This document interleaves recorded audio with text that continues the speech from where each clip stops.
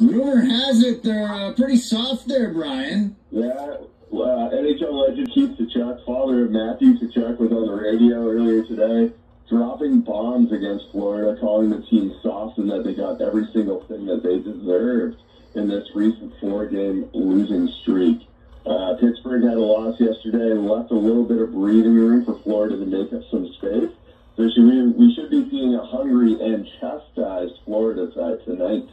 Now, whenever somebody does some trash talk, I'm always a little bit leery because I've seen too many movies where that little bit of trash talk sends up the fire that they need to really turn it on.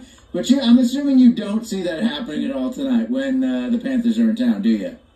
Yeah, the Leaf uh, offense and defense are clicking right now, and the Panthers really have one thing going for them, and that's their team defense. So everything's going to have to work out for the Panthers to really get back on the right side of things seeing dads go after a team like this is pretty rare, you know? Uh, whenever Mitch Marner's dad or any other prominent father in hockey, like Eric Lindros's father, has said something, it's usually met with a lot of scorn. So, uh, seeing something like this and people are just kind of nodding their heads agreeing is, is pretty interesting stuff for sure. Now, I do know that Samsonov is back tonight. Do you think that's going to have a profound impact on the way the Leafs play? I also he just had a baby boy. Miroslav is his name apparently. So often we've seen Leafs get the big new dad bump.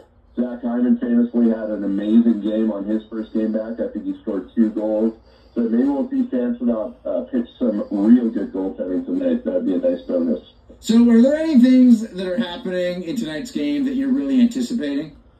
Well, I think one thing to watch for is Noel Acciari. Uh, he did not take place in uh, practice yesterday. They had a of T kit skating in his place, which suggests that they do think he'll be available. Wayne Simmonds also practiced yesterday, so they went with the 6 and uh, 12 at practice yesterday. Is that going to happen? Sometimes Wayner's just a little placeholder there. So that'll be another topic to see. Is Liljegren going to get another chance in this lineup?